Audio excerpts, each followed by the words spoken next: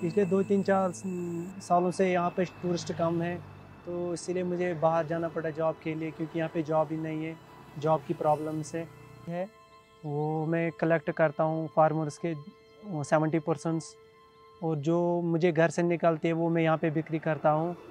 तो थोड़ा मुझे जो घर के जो खर्चात होते हैं वो तो निकलते हैं, क्योंकि मेरे पास अभी जॉब ही नहीं है।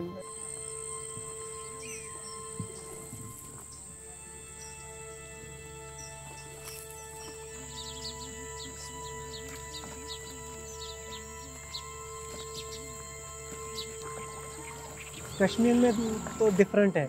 डे बाई डे डिफ़िकल्टी होता है। क्योंकि हमारा जो बिज़नेस है, वो टूरिस्ट के साथ है। टूरिस्ट जब होगा ही नहीं तो हमारा बिज़नेस भी कुछ नहीं है। आफ्टरनून में मैं मंडी में जाता हूँ, जो फ्रेश वेजिटेबल्स है, वहाँ पे होल सेल्स मार्केट है। तो वहाँ पे मैं सेवेंटी परसेंट वहाँ रखता हूँ थर्टी परसेंट अपने पास रखता हूँ, क्योंकि वहाँ पे प्रॉफिट कम होता है। यहाँ पे थोड़ा प्रॉफिट होता है, इससे हमारा खर्चा चलता है।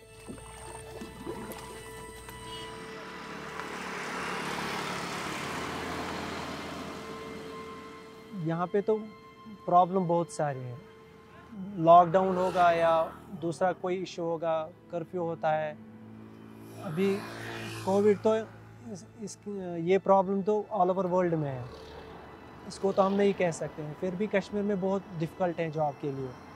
अगर सिचुएशन ऐसे ही होगी तो हमें यही काम करना पड़ेगा।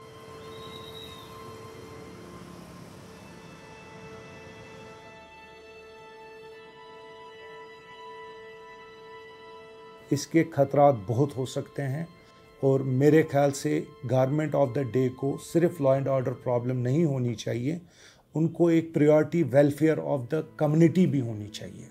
ये सिर्फ़ नहीं देखना है कि इस चीज़ से हमारा law and order problem solve हो जाएगा, मगर आप लोगों को देखना है कि लोग अपनी ज़िंदगियाँ कैसे चलाएँगे। कल ऐसा ना हो कि कल सारी कौन सड़क पे हो, क्योंकि वैसी एक फ़िक्र है, वैसा एक कंसर्न हमें नज़र आता है।